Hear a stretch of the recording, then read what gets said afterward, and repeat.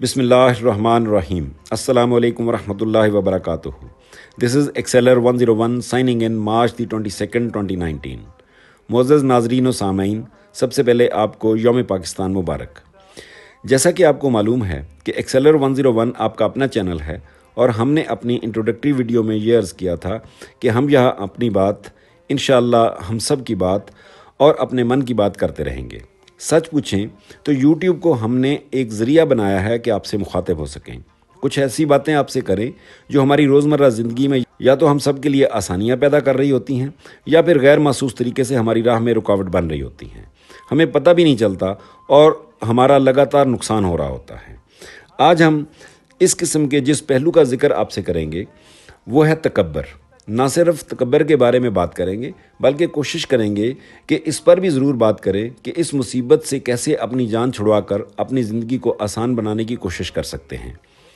عام طور پر اپنے آپ کو دوسروں سے بہتر سمجھنے کو تکبر کہا جاتا ہے۔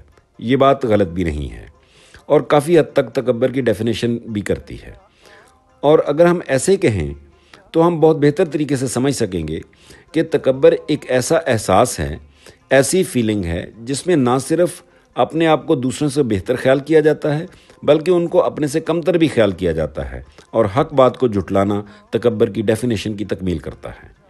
اپنی برتری کا یہ احساس، ہم کسی کے سامنے ظاہر کریں یا نہ کریں، لیکن اپنے مال کے حقیقی یعنی رب العزت سے تو کسی طرح بھی نہیں چھپا سکتے۔ تکبر، برتری صرف اور صرف خدائے بزرگ و برتر کی ملکیت ہے۔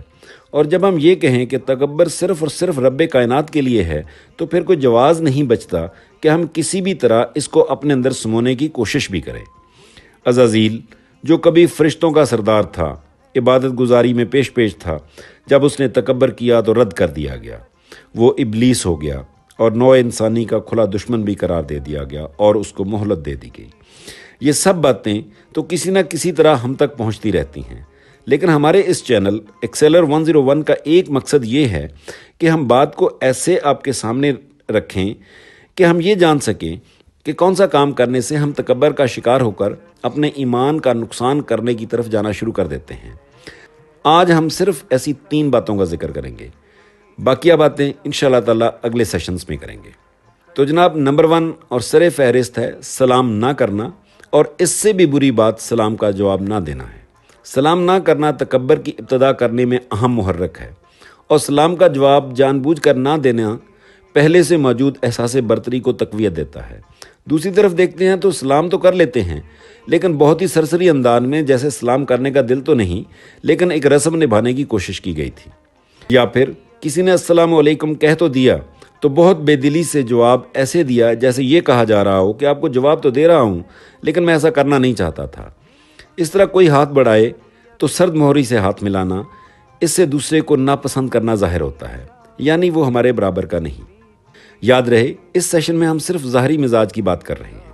سلام کا جواب نہ دینا، سلام نہ کرنا اور بے دلی سے ہاتھ ملانا ایسی باتیں ہیں جو ہو سکتا ہے ہمارے دل کو وقتی طور پر ایک حد تک ٹھنڈا تو کر دیں، لیکن ایک مسلسل بے چینی ہمارے مزاج کا حصہ بنتی رہے گی، جو وقت کے ساتھ ساتھ بڑھ سکتی ہے اور مزید کچھ الجھنوں کا سبب بھی بن سکتی ہے۔ خوش دلی سے سلام، انکساری کے ساتھ سلام کا جواب اور قبولیت کے ساتھ مسافہ کرنا یعنی ہاتھ ملانا ہمیں سکون دے گا، انشاءاللہ۔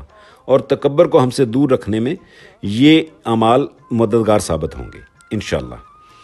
نمبر دو، نفرت ایک ایسی چیز ہے جو تکبر کو گھیر گھیر کر ہمارے دل میں داخل کرتی رہتی ہے۔ نفرت چاہے وقتی غصے کی وجہ سے پیدا ہو یا کسی کے مکرو فیل کی وجہ سے، دل میں تکبر پیدا کرتی ہے۔ تکبر ہمارے ایمان کا نقصان کرتا ہے۔ نمبر تین، تیسری بات بھی بہت اہم ہے کہ جب ہم کسی سے خود مشورہ مانگیں تو دیے گئے مشورے کو صرف اس لیے نظر انداز کر دیا جائے کہ مشورہ دینے والے نے بات تو ٹھیک کی لیکن ہماری مرضی کے مطابق مشورہ نہیں دیا۔